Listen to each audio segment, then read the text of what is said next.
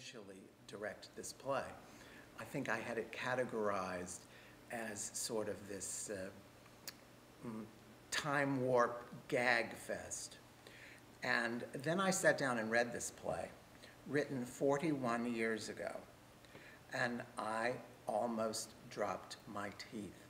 It is incredibly relevant for what is going on in America today. It is, he's prescient, Neil Simon. It's uncanny how he uh, kind of saw into the future, if you will.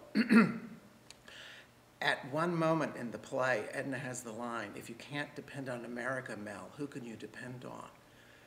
And when she's lost her job. And you could feel the audience when that line hit, just everybody's shoulders just went up. Because I think so, so much of what we took for granted as what we could depend on and what we could count on in this country, uh, we found out the hard way is not there for us anymore. And I think we're all trying to renegotiate what America really means. And this play does that.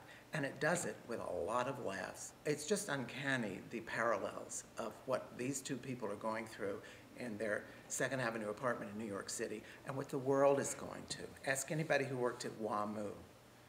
Ask anybody who's been laid off. Ask anybody who has half as much money as they did a few years ago. Uh, it's, it's, it, it's a very, very prescient piece.